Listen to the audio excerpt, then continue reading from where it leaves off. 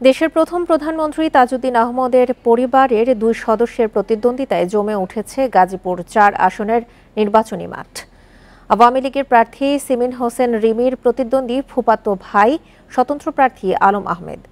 Vote প্রার্থনার সাথে চলছে বাকযুদ্ধ ভোটাররা চাইছেন যোগ্য প্রার্থী বেছে নিতে।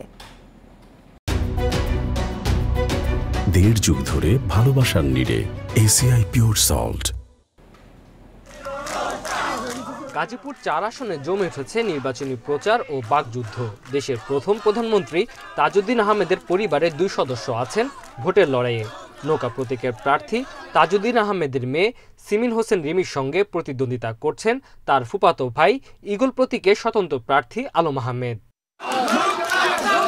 দুজনই চালাচ্ছেন প্রচার ও প্রচারণা। সিমিন হোসেন রিমি বলছেন আলম আহমেদ তাজ পরিবারের সদস্য নন। এছাড়া একজন ঋণ খেলাপিকে কাপাসিয়ার মানুষ বেছে নিবে না।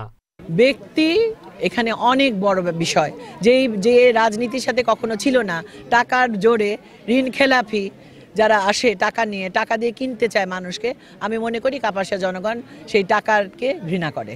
অন্যদিকে স্বতন্ত্র প্রার্থী আলম আহমেদ বলছেন তাজ পরিবারের সদস্য হিসাবে কাপাসিয়াবাসীর জন্য তিনি নিবেদিত।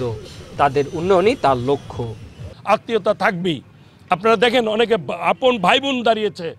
আপন ভাই বোন দাঁড়িয়েছে ছেলে বাবা দাঁড়িয়েছে। নির্বাচন একটা উৎসাহের ব্যাপার।